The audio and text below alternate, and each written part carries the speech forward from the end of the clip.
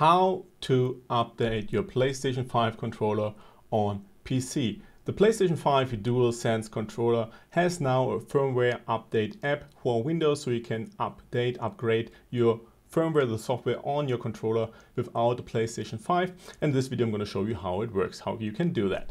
If you appreciate it, please give me a thumbs up, subscribe to my channel and turn notifications on. If you have any other questions about the PlayStation 5 controller or the PlayStation 5 or connecting it to PC or whatever, write them down in the comment section and maybe I'm going to make a video about the question you ask. Okay guys, so many people are using the PlayStation 5 DualSense controller to play games like Fortnite or FIFA on your PC. So far you need the PlayStation 5 to update the firmware, the software on the controller, but now Sony has released an app for Windows which allows you to update your PlayStation 5 controller on your Windows 10 or Windows 11 PC. All you need to do is you have to connect the controller via cable.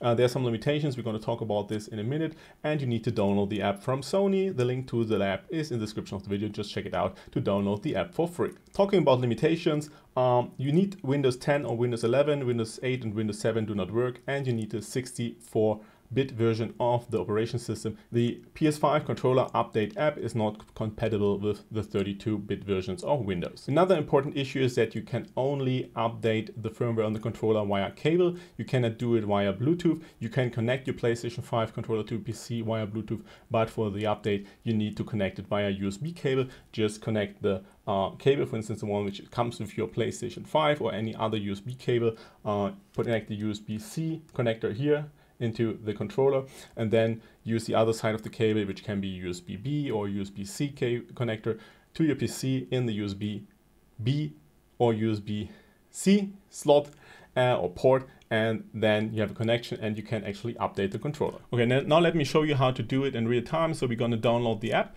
Okay, so this is a website you find in the description of the video. Just go there, download the app, click on the download button you see the app is already downloaded. In my case, uh, I use the Chrome browser. You see there's the uh, program, the app. You just have to double click it or to click it to start it. Um, there's going to be a window from Windows asking you if you're sure you want to install it. Okay, so this window is going to pop up. It's going to ask you for the question you want to insert the app in because my PC is set to German by default. It's going to be in German. If you have your PC in Polish or English or whatever, it's going to be your native language. So uh, just do it in, yeah, I'm doing it in English for, you know, uh, presenting purposes. So you see the software is installing. Okay, so then the setup opens, just click next, read the license agreement and accept it. Uh, of course, I read it before I installed the software. So, you know, I know already what's in there. You should always read these things um, before you you know sell your liver or something. Uh, just kidding. I mean it's safe. Uh, so next one is uh, next. To choose you can change the path where you want to install the program or the app. Uh, then hit install and it's going to install it. You see you have the progress bar here, and once it's finished, uh, yeah, we can actually use the app. Okay, so it looks good. Um, the app is installed, so we can now launch it, or we can just go, you know, to Windows Start and then start the app, and let's see what happens. Okay, here we are. The app uh, started. So again, it's German because my Windows is set to German. It's going to be in the language whatever your PC is set to. Uh, it asks me to connect the controller. So what I'm going to do now is I'm going to put the cable into the controller, into the PC, connect them, and then I will be able to update the firmware. For that purpose, I will just use the uh, cable that came with my PlayStation 5 Okay, so I'm just going to put the uh, USB-C cable, this one here, okay, uh, on the end. You can use any cable, you can use any USB-C cable, okay, into the controller.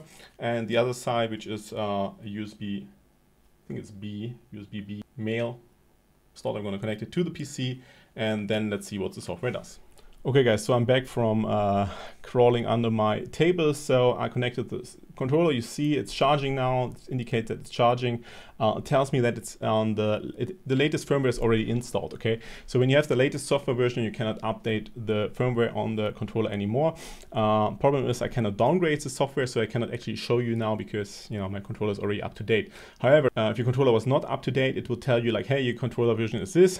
Uh, the newest firmware version for the PlayStation 5 5 DualSense controller is. Do you want to update? Just click on update, click on start and wait, okay? Wait, don't touch the controller, don't remove it until the firmware update is done. It's very important when you update any kind of hardware, never disconnect them, just wait. It can sometimes take 5 minutes, 10, 15, depending on what you're updating. Uh, for instance, the TV or uh, your mainboard on your PC or whatever, even the PlayStation update, right?